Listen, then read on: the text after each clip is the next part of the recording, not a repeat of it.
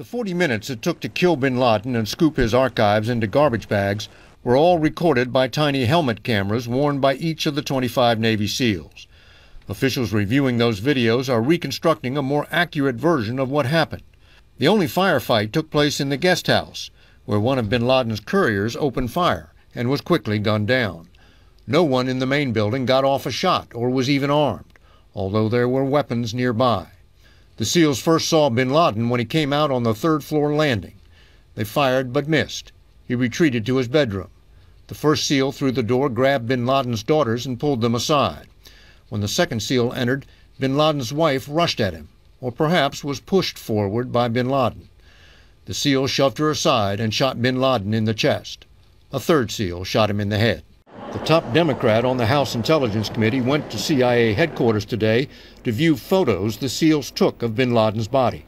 There are probably about maybe four, five, or six photos. Uh, there, there were just a couple body shots. He was like in a, in a white undershirt and a, and a tan robe.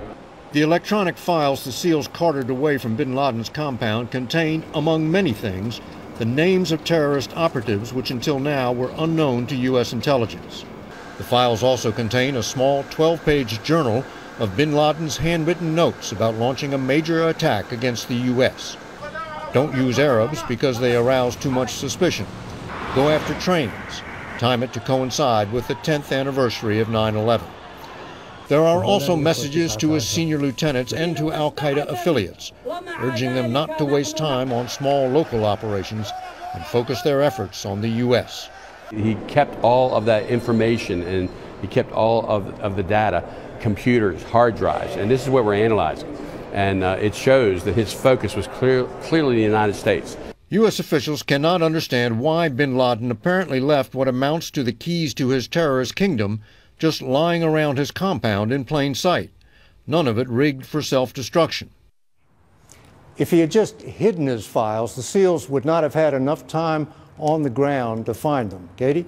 And David, are you surprised that so much detail about such a secret mission has gotten out? Well, I'm not, but Defense Secretary Gates is. He said today that on the day of the mission, the president and his top advisors all agreed not to release any details. That lasted less than 24 hours. All right, David Martin. David, thank you.